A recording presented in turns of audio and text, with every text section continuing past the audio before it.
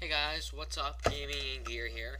So today it was revealed that Valve Software, the people behind Steam as you probably know, have started to allow, they're going to allow people to launch programs that aren't games, like office things. They say they're going to be productivity, uh, from creative to productivity, and they're going to take use of Steamwork features such as the easy installation that Steam has been known for, automatic updating, and the ability to save your work to the Steam cloud so your files may travel with you.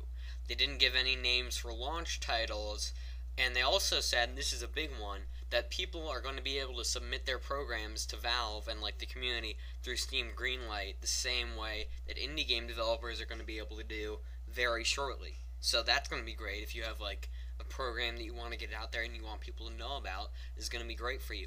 The only thing that I really don't like, that I'm really curious about this, is offline in Steam sucks. Like, it's not so easy to get offline, to launch it offline and, like, figure it all out.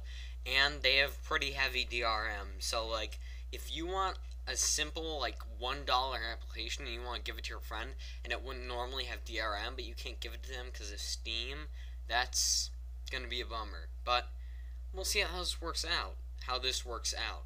So thanks for watching. Please remember to rate, comment, favorite, and subscribe. And have a nice day.